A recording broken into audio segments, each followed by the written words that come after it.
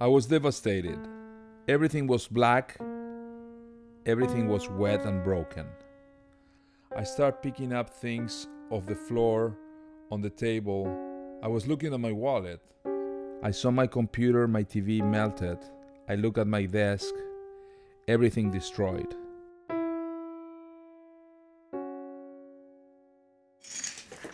I was looking at things I was doing the night before and it was gone. All my tools collected over 25 years, art supplies, my collections of cameras and lenses, paintings of work in progress, an entire body of past artwork. In the fire, I lost everything.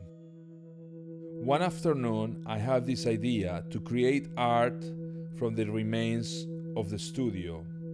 Artists who came over thought about exactly what I was thinking to make art from burnt objects.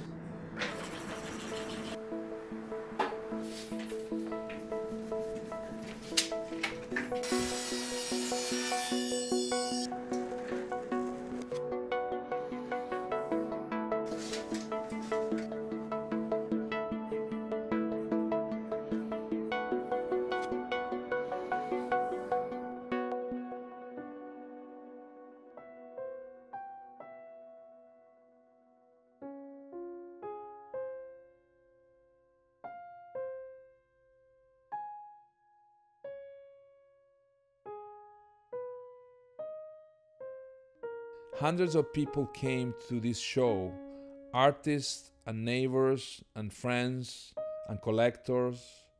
It was shoulder to shoulder standing room only.